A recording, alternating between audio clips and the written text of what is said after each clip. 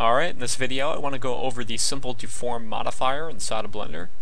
So I'm going to get started with this object here. I'm going to go into edit mode to show you that I've subdivided it quite a few times. There's some detail on that object.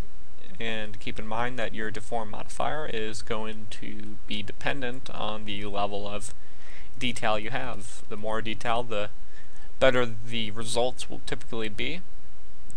So I'm going to go into object mode here, select this object.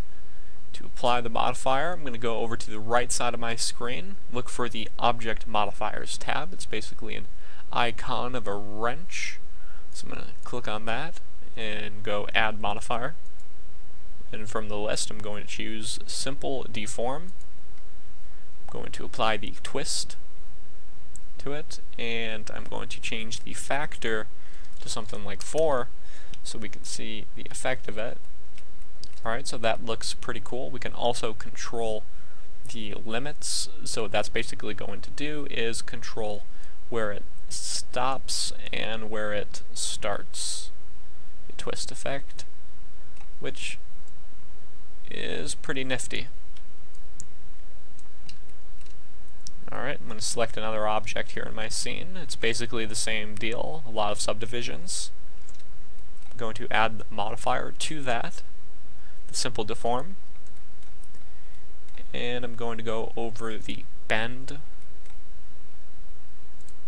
and I'm going to increase the deform to something like 1, and it's not so cool looking like the twist modifier, but it can be useful regardless. I'm going to select another object here, go add modifier, simple deform, I'm going to put stretch on it